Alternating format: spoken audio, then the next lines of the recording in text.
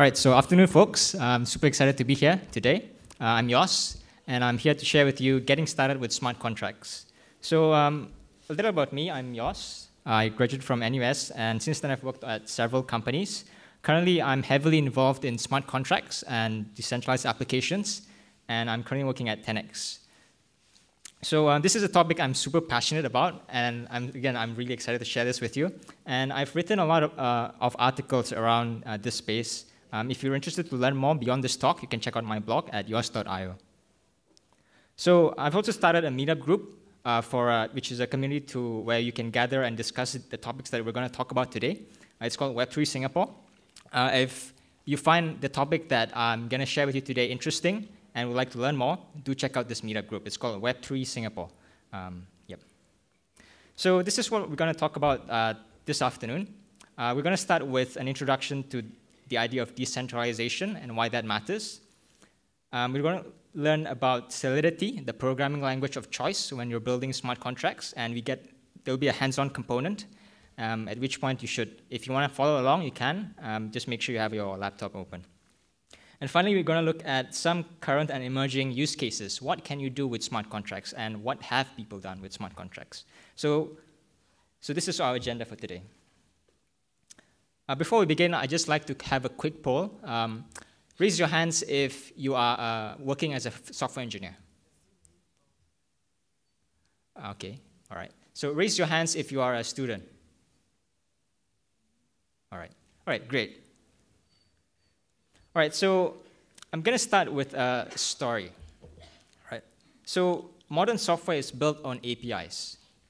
So what are APIs? APIs are third-party services and um, software, basically. Things like the Twitter API or the Facebook API. So these are services that let you consume other people's code by making network calls via the internet, right? So here's an example of an API. This is the Twitter API. So what can you do with the Twitter API? Well, you can do things like search tweets, basically access the content and users on the Twitter platform, right?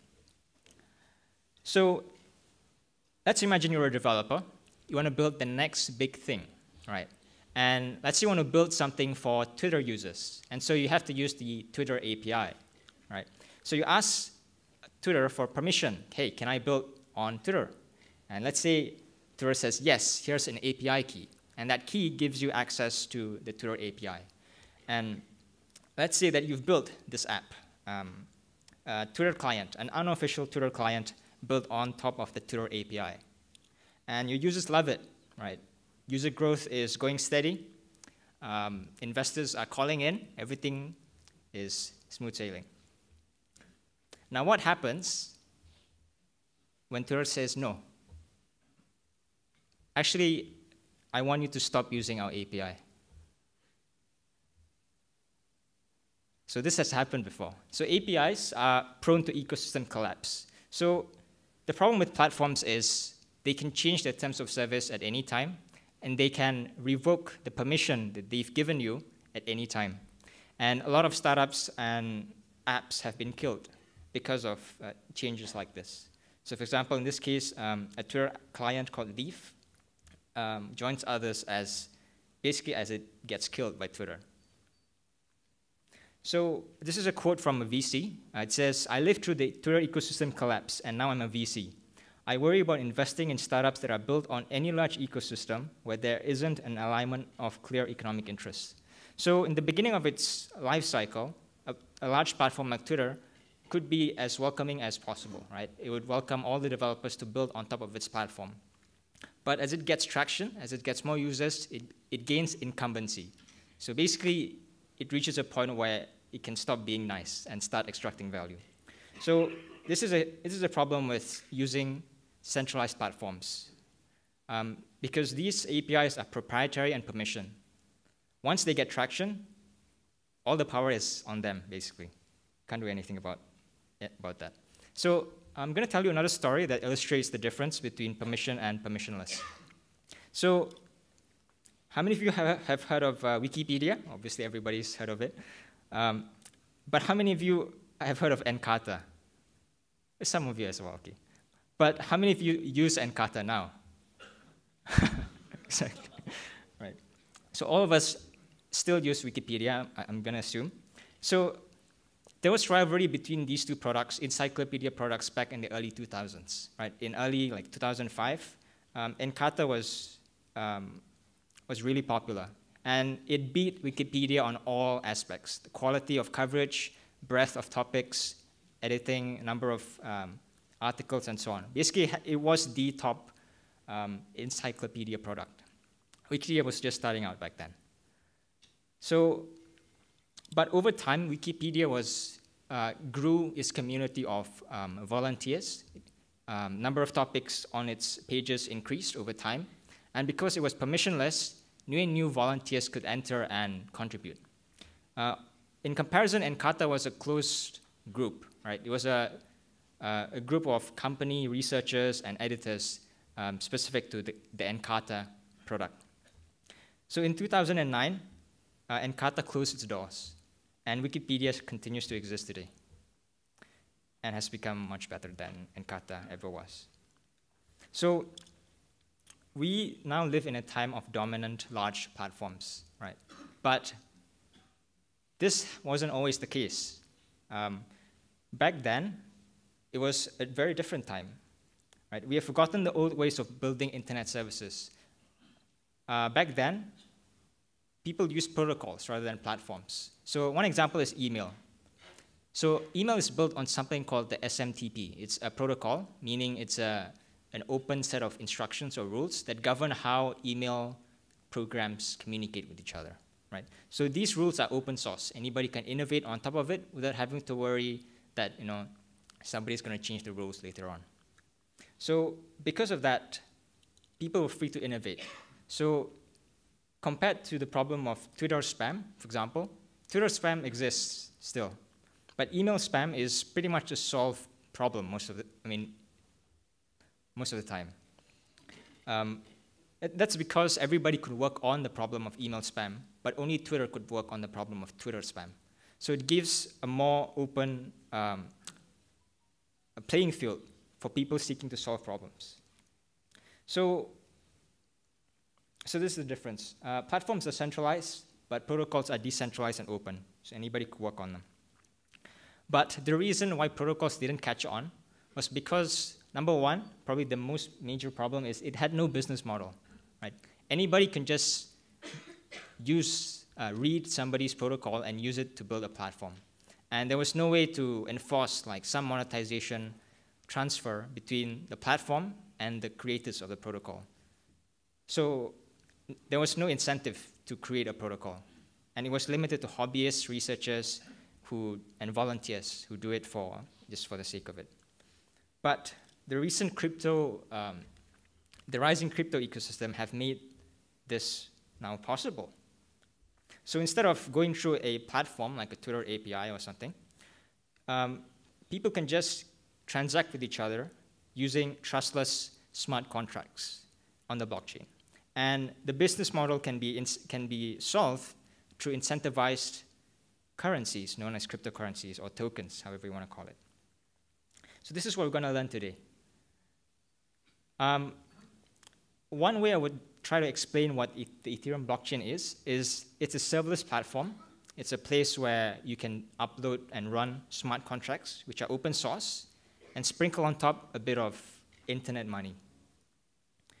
So, in other words, it's a printing press for protocols that have built-in incentives. So, how many of you have heard of uh, Netscape? Netscape, right. So, um, so Marc Andreessen, one of the founders of Netscape, and um, I guess people know him as know him. He's now a VC at Andreessen Horowitz, and in one of the, his interviews, he, he mentioned the original sin of the internet. I'm going to ask you this question. What do you think is the original sin of the internet? What's missing from the original internet? Exactly, money. So, what, so Marc Andreessen said that he couldn't include payments in the early internet. And that led to basically the advertising hell that we live in now because there was no other way to monetize. If we had built-in payments back then, perhaps you know, platforms could just include payments and just skip on the ads. So but with crypto, we now have that. A, a web native way, uh, a web native um, way to pay between parties. All right, so what are smart contracts? I'm going to keep this a very, at a very high level. We don't have much time. Um, smart contracts are basically just a program stored on a blockchain. And what's a blockchain? A blockchain is basically a spreadsheet or a table, right? So you can imagine that um, a spreadsheet has many cells and many rows. Um, a contract can be deployed similar to how you deploy software on AWS or Google Cloud. You can deploy contracts on a blockchain. And you can imagine that once you deploy, a contract could live in a single cell in this big spreadsheet, right? And each contract has an address, right? That's, that's it. That's all you need to know for now. This is an example of a smart contract. So this is written in the Solidity programming language on, uh, for the Ethereum blockchain. So if you've written software in other languages like JavaScript, Python, or Java, this might look familiar. Uh, we're, we're going to go through it very slowly and so that you know how to read this. All right. So Solidity is a high-level language for smart contracts. Internally, um, Ethereum runs on a virtual machine, but you don't need to worry about that. You can write smart contracts using a very high-level language familiar to you if you've written in other languages like Python or Java. It's uh, Turing complete, which means that you can basically build whatever, whatever it is you can imagine, right? So it's very flexible, very programmable. Again, this is what it looks like. Let's take a closer look at um, each component. So first is the uh, so the, I'm just going through the syntax of the language now. So first is the contract. Uh, the contract. It's a container that includes data and functions. You can think of this as a class in uh, object-oriented languages. It's just a, a, container that can contain some variables and some functions. So in this sample code, I have a contract called my token with some data and methods, right? Potentially. Then it has Solidity as variables. Right? And in this contract, my token, I have a name, which is a string, and this is the, is the data assigned to this variable name. So this is a Boolean uh, called total supply, and it's a thousand. Things pretty clear so far. So you notice that Solidity has types, so it's statically typed, like Java or other statically typed languages. There's things like booleans, integers, unsigned integers, string, also has addresses. So addresses are a unique type. And you can think of an address as an, a unique ID on the blockchain, like your email address, that kind of thing. And it also has a hash table or dictionary uh, called mapping, where, for example, it could be a mapping from a string with a key and a boolean as a value. So next is functions. I think it's pretty self-explanatory. So functions, this is a function called hello, it has no parameters, and it returns a boolean. And then this is the function body, just returns true. Constructors is a special kind of function. Um, like constructors in object-oriented classes, it's a function that takes in some parameters and is used often to initialize state in the contract. So in this contract, in this constructor, this constructor accepts an address um, labeled Minter, and the body could maybe save this or do something with this address. And finally, assertions. So assertions are uh, uh, used to validate inputs. So you specify a Boolean statement. So this returns true or false. And you wrap it in a require block. And this will, depending on whether or not this evaluates to true or false, the transaction or the function call will fail or continue. All right, so that's the very basics of what you need to know to start writing smart contracts. So if you'd like to follow along, uh, I'd like you to go to this link um, on your machines. Just, I'll give you a few minutes to um, get set up.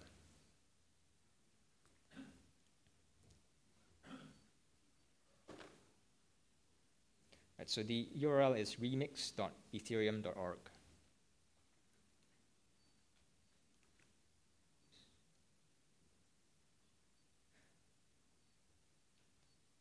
All right, so this, uh, this is Remix. So this is basically like a JS Fiddle. It's an online code editor for smart contracts. I'm going to write a very quick, uh, very simple currency, basically, in a, in, a, in a few lines of code. So when you, we think of a currency, what do we need to implement? Well, I think we need at least two things. First, a way to view the balances of each address. So for example, I want to know how much of my tokens you have, right? And the other is the ability to transfer tokens. So for example, let's say I want to pay you some, some of my tokens, I can just send it to you and you can receive it. So that's the minimum viable um, currency. And for testing purposes, we're also just going to create a, a function that creates a currency.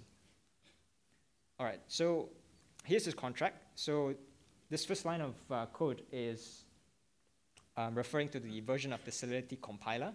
Can think of it as the version of the language. So it's a continually evolving language. New versions release things like uh, security improvements, uh, more type checking, and so on. So here we specify that we are using the 0.5.11 version of Solidity. So, and now we define a new contract called simple token. So let's start by defining a variable.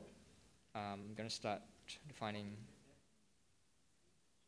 Ah, sorry. Okay, let me just start over. So once you get this page, you go to File. There's a link called New File. I know the UI is absolutely terrible. So this is a new file. Click New File. So, so .sol is the um, file extension for Solidity smart contracts. Create new file. Then let's start writing Solidity.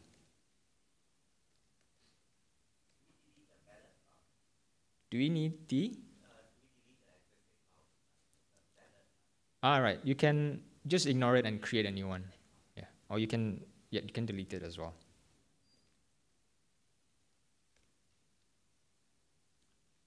Right. I'm going to start with specifying the first uh, version, uh, the version of the contract, version of the uh, Solidity compiler. Then we create a new contract.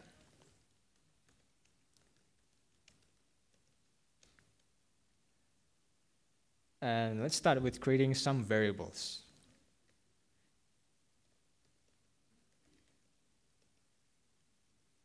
So you can name this, this, this will be the name of our cryptocurrency, so you're free to use whatever you want. I'm just going to call mine uh. So um, you will notice that I'm going to use some keywords here, public and constant. You don't have to worry about this for now, all right? You just follow, just follow along. And when you think of cryptocurrencies, they usually also have a ticker symbol, things like uh, uh, BTC or ETH, right? So you can also specify your own here. I'm just going to call it geek.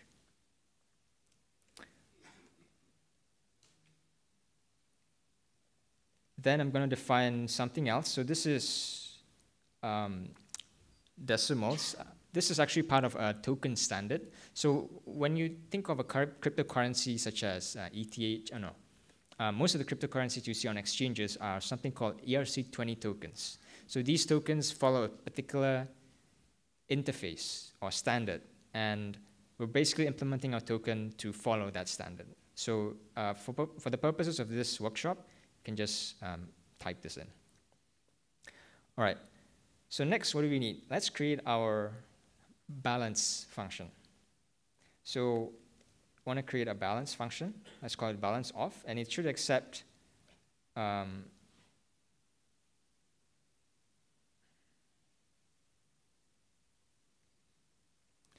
an address as a parameter. I'm going to call it, uh, what did I call it? check. Account. And it returns an unsigned integer. So basically what this balance function does is it accepts an address and returns the amount of tokens that address has. And so to store these tokens, we need a dictionary or a hash table. It's called a mapping in Solidity, where the mapping is has address as a key and unsigned integer as the value. And let's call it balances.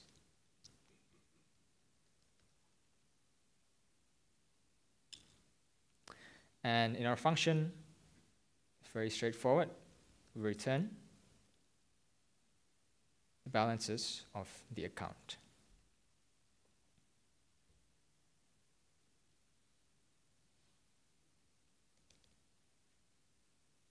Right, so this implements the first part of our currency already in just a few lines of code. So with this, we can know how much tokens each address has. So next, let's create um, a minting function.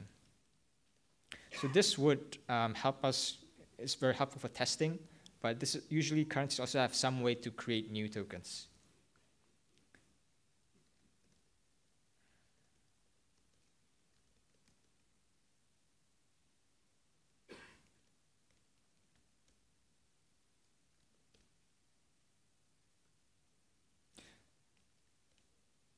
So how do we create new tokens? That sounds really hard. Like, how do we create new tokens? It's actually very simple. Um, what you have to do is just increase the balance of the address you want to give tokens to. That's, that's it.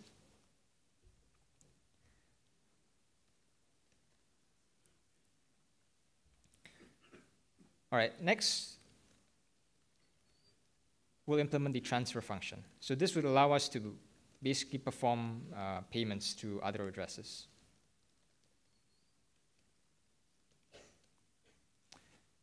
And it's also very simple. Uh, first, you just have to deduct. Um, so message to sender is a built-in variable. So this would be uh, the address of whoever's calling the function or calling the smart contract. So for example, when I call a smart contract, I call this transfer function. The message to sender will be my address. So first we need to deduct um, the tokens from my address and then add that amount to the destination. So this is pretty much it. Very, very simple. So now what we can, one of the uh, challenges with smart contracts is once you deploy your smart contract, you cannot change it. It's immutable. So how on earth do you fix a bug? So this is a problem, right? So at the very least, we should make sure that our functions are secure, or at least behave as intended. And one of the best ways to do that is to use require statements. So for example, uh, in my transfer function, perhaps I want to make sure that um, the amount is more than zero, right? Just to avoid some, I don't know, unnecessary transactions. Right? So if the amount supplied to this transfer function is zero, then this would not execute at all, basically. And Yep, so this is the minimum viable contract. So now, what you can do is um, deploy this on a, a, test net. So you can think of this as staging uh, a test environment for Ethereum smart contracts. Uh, before I continue, any questions at this point?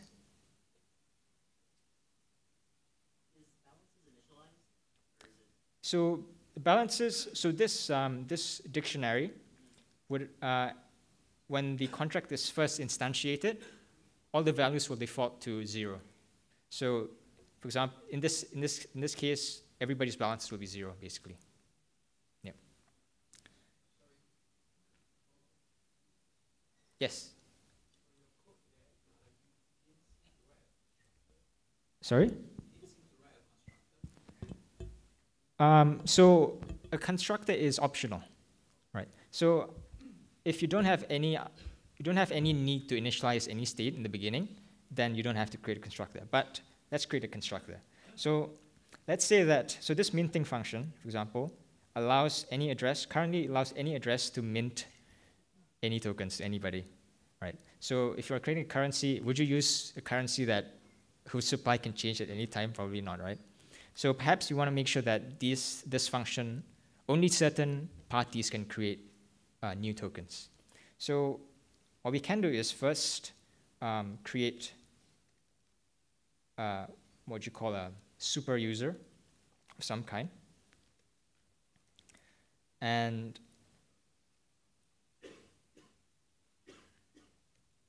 sorry.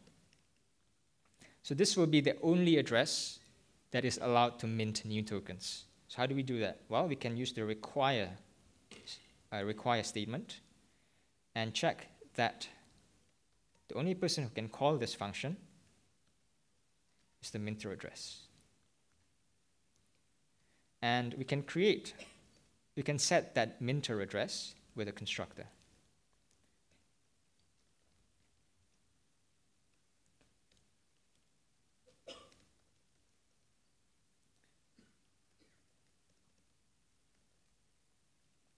Right. So when we, when we once we deploy this contract, this constructor will execute uh, when we deploy, we have to pass in an, an, address, ideally probably you know, your address. And it will be assigned as the minter address. And that address will be the only one who can, can create new tokens because of this check. All right. All right, so the, the next step, so this is, in a few lines of code, we've just created a currency. So what can we do next? Well, we can deploy this on the Ethereum blockchain. Now, to actually deploy this, it involves a few setup um, steps. Um, you'll need to uh, set up something called MetaMask. Um, this is out of scope. I think to save time, I'm going to skip a few, few steps. But I'm going to just show you how to deploy a contract. So, so if you use Remix, um, there's a plugin system.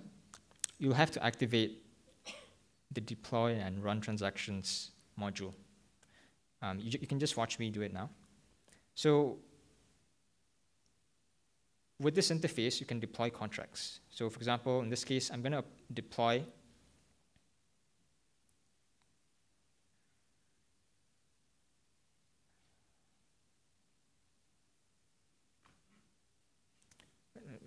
me.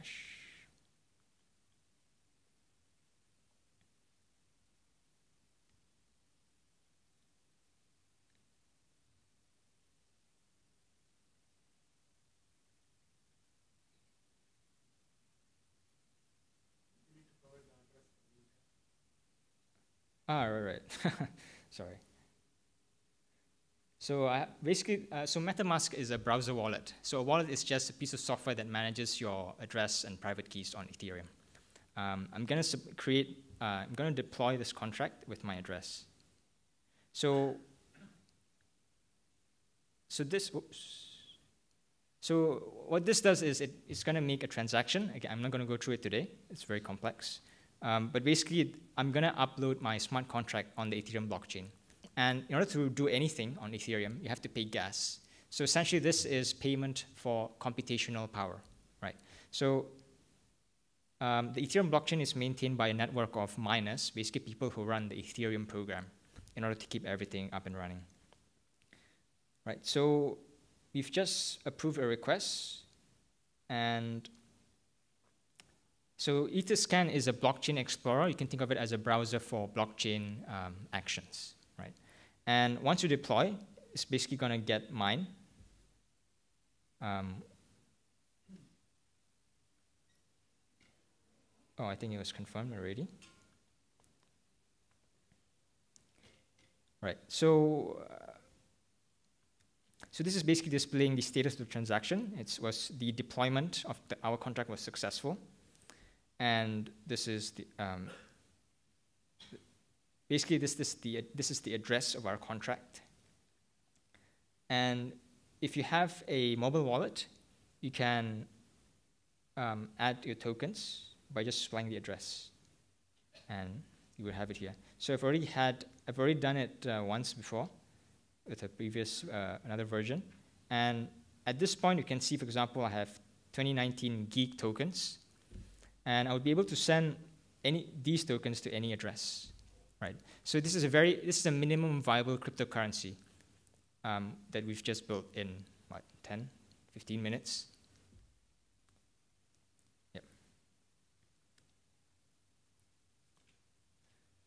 So that was Remix. Uh, obviously, in, to make uh, actual in production, you shouldn't use something like this. Um, there's proper tooling involved, but I thought this is probably one of the easiest way to get started.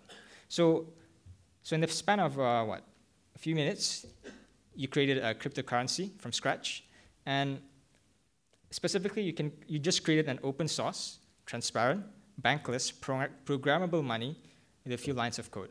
And the key part is this programmable point. So as I mentioned, Solidity is Turing complete, meaning you can build whatever it is that you can imagine. So for example, let's say you want to make sure that uh, you want to introduce new ways of, new rules around how tokens are minted, you want to introduce how tokens can be used, and so on. You can do that um, with just additional lines of code. So here are some characteristics of smart contracts. Um, one very, very strange characteristic is that it's immutable right? So as a software developer, we're used to things like um, move things, uh, what, uh, move fast and break things, and iterate constantly, right? If you want to ship something, start small, and then just keep pushing, just keep pushing. You know, new commits, deploy multiple times, several times a day. Well, with smart contracts, uh, once you deploy a contract to an address, that's it. The code is mostly fixed, right? So this has several interesting properties. One is once, if you are consuming a contract on the blockchain, then you can be, you can be reasonably confident that once it's there, it's going to be there forever, and you can continue depending on it. So if you compare it with the Twitter API, for example, um, if you are, instead of, let's say instead of consuming a Twitter API, you're consuming a smart contract, then that can never be taken down. Nobody can ac actually stop you from talking to that smart contract. So that gives some level of certainty. But at the same time, it makes upgrading contracts very difficult. Now, there are ways to do it, but it's not easy. So the second part is it's open source. So by default, all smart contracts are open source. So Twitter is proprietary, but let's say there's a, an open source version of Twitter, right? If Twitter abuses their incumbency in some way, let's say you know, they've reached a large user base and start charging excessive fees, then technically anybody can fork that open source code and run it, run another instance, except with less fees, and make users happy still. And finally, it's permissionless and composable. Again, once it's deployed, it can never be taken down. So anybody can innovate on top of these smart contracts without having to worry about things like you know, lose, losing your API key, you know, having your permission revoked, or um,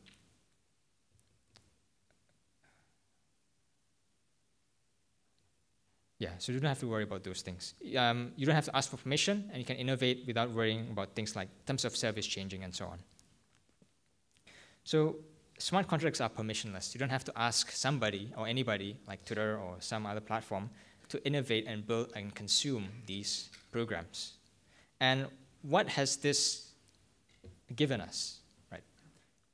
So um, how many of you are familiar with the term decentralized finance? Not many of you. All right. This is a very pretty new um, development in the space, maybe in the past one year. And it's basically an explosion of innovation in the uh, smart contract space where people are building composable services around providing financial services. So what do I mean by that? For example, you can build lending services, P2P lending services, using smart contracts on the Ethereum blockchain. You can build decentralized exchanges that allow you to trade tokens without trusting a centralized party. You can build other um, um, more advanced financial products like derivatives, margin trading. So these are very, very, very um, slightly difficult to understand products, but it has been implemented on the Ethereum blockchain. And the most interesting part of this is that there are a lot of parallels between the developments in this space and the early days of the internet. So on the left here is the, uh, a diagram showing the growth of the ARPANET. So this, this is the precursor of the, the internet we know today.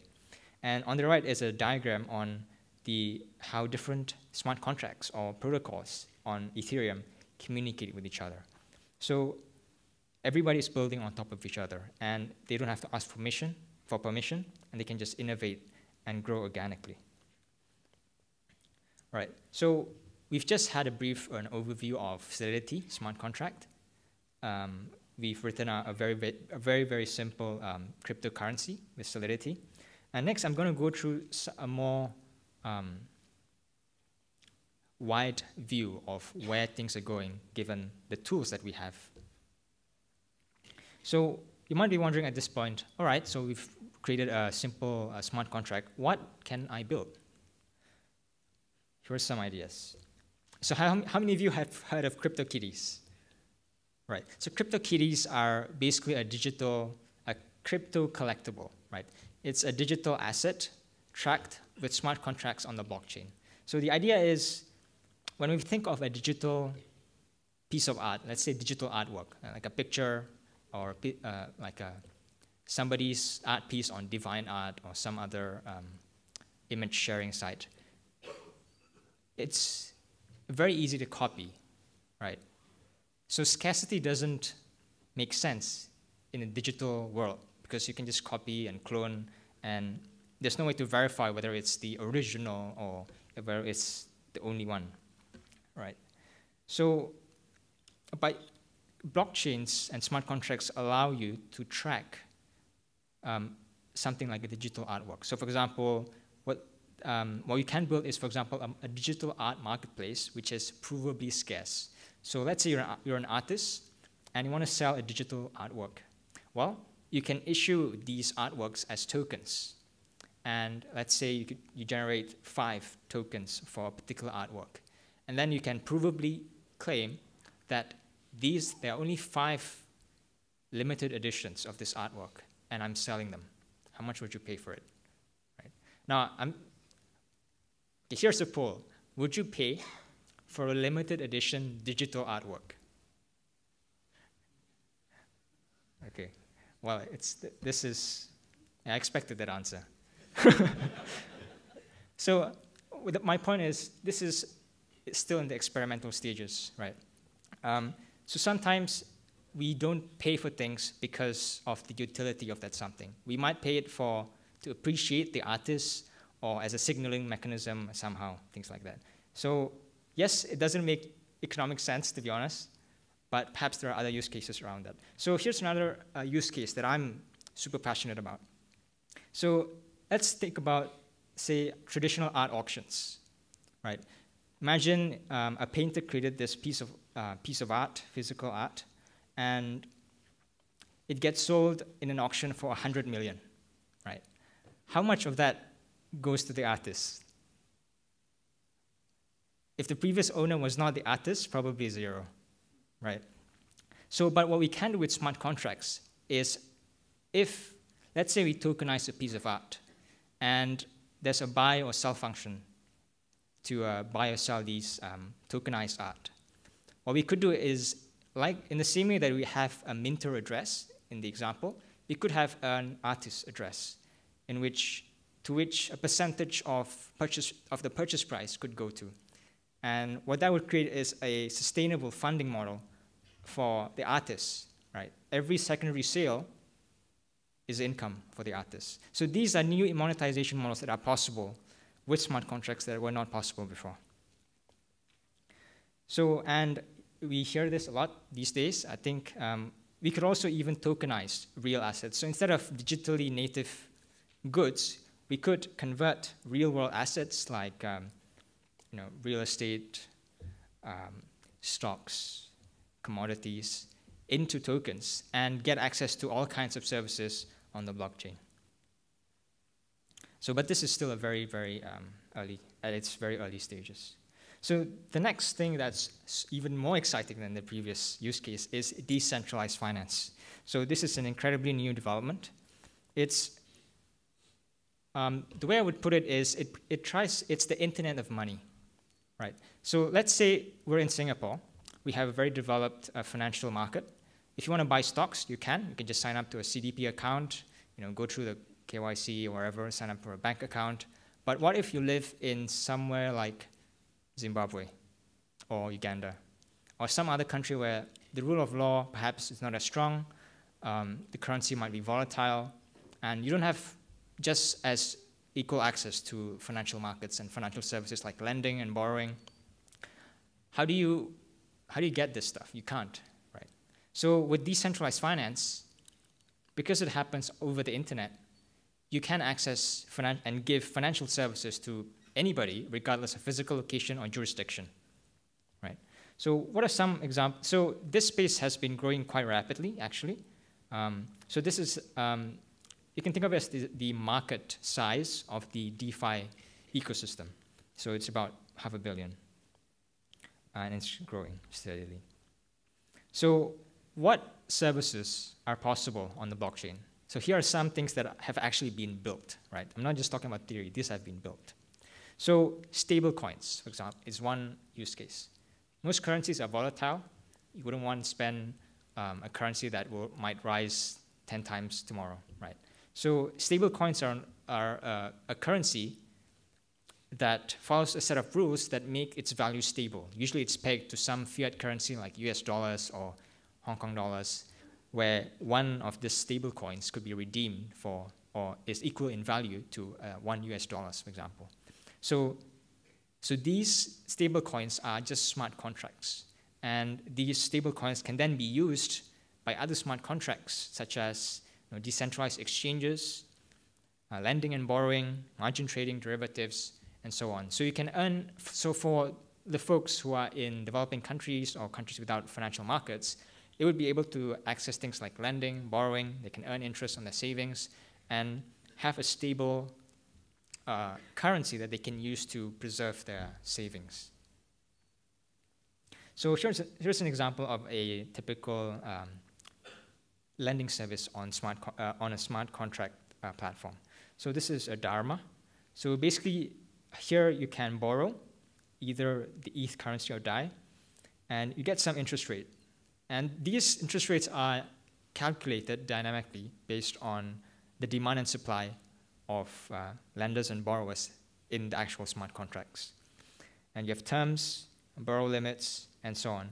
And the repayment of the interest is enforced by smart contracts. You don't have to trust like a bank. You don't have to trust some issuer or regulator somewhere. You can do this just directly with uh, the smart contracts. And because of the permissionless nature of smart contracts, once you have a protocol like a stable coin or an exchange, you can stitch these together, similar to how we you know, build software today with open source libraries, without having to worry that the contracts will go down someday, either because of you know, something like Twitter, where you lose your API key, or the terms of service changes. So this is what led to this explosion of innovation in the space. So this is what the Ethereum space looks like now. Um, none of this probably means much, but the basic idea is each smart contract gets built on top of others, and it creates more, more, more and more advanced um, products based on these existing building blocks. And so at the bottom we have Maker, which is a stable coin, and this is a very important primitive or building block for building other kinds of financial services like lending, like trading, um, margin trading, and so on. And so the final um, use case and application that, I, that is very, very ambitious It's something called a decentralized autonomous organization or a DAO, right? So these are essentially a decentralized company, right? So instead of being locked to a particular jurisdiction or legal structure, you have um, token holders that act as stakeholders, and they can use these tokens to vote on proposals, decide how you know, the funds within the smart contract get spent, and so on. All right, so that's pretty much um, what I have to share today. So uh, to summarize, we have uh, we um, talked about decentralization and why it matters. Uh, we talked about uh, smart contracts and Solidity. We had a try at that as well. And we looked at several use cases of smart contracts so far. So uh, if you're interested to learn more, um, be sure to check out this meetup group. Uh, we Web3 Singapore. We've had a few sessions already so far, and where we go into more in depth in, Solidity and DeFi and so on. So if you're interested, interested to learn more, do check out this uh, meetup group. Um, that's all I have to share for today. Um, thank you. If you have any questions, um, I'll be happy to answer them.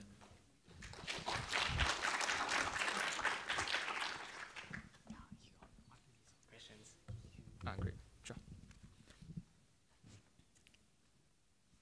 All right, the first question is, can you estimate how much time is required to move your minimal, de minimal demoable viable Gitcoin to a minimal commercial viable one? So this depends on uh, your requirements. So for example, what kind of token do you want to build, right? Depending on that, the answer to that question, you might have to implement more features. But if we were to, uh, um, given what we have so far, let's say that's the limit of our feature set, then deploying it to a, a main net take what? 30 minutes. That's it. Um, but the problem is, has it, okay, here's a question. How many of you invested in crypto? Oh, not many of you. All right, right. Most of crypto projects during the uh, crypto um, um, spring failed, right? And that has affected ap the appetite of, I guess, crypto investors. So you can't build uh, a token that is just a normal token. You have to build something that has some utility or use case. So for example, let's say uh, you build a protocol basically a service, a lending protocol. And then your token will be a fee payment for that protocol. So that will be more commercially viable. And unfortunately, that involves building the protocol as well. Building the token is the easy part. But building a use case for your token, that is the hard part. All right, I think that answers the question. So, okay, here's a good question. It's an interesting question. What are the challenges of translating legal contracts into smart contracts? right? So this is a very interesting question. So let's say, um, let's go back to the art industry, right? Let's say I tokenize a piece of art. So it's basically a row in the spreadsheet saying, you know, this art is this ID, and this ID belongs to this address, right? Somebody in the real world still has to accept that as true, right? And that's where the legal side comes in. So, for example, in a decentralized autonomous organization, that's not a legally, uh, that's not a legal business structure, right? So there are some projects that try to marry both the technology aspects and the legal projects. And there's something called ALAO, L-A-O, L-A-O, which is a legal autonomous organization, basically, where it's a, it's a decentralized organization, but it still has some legal backings to it. So it's unclear how this will work out because legal laws are enforced on a jurisdiction basis. So laws are enforced in a particular country. And so that's a central, central uh, authority. So it's, it's pretty unclear how this matches with uh, decentralized. All right, that's all. Thanks.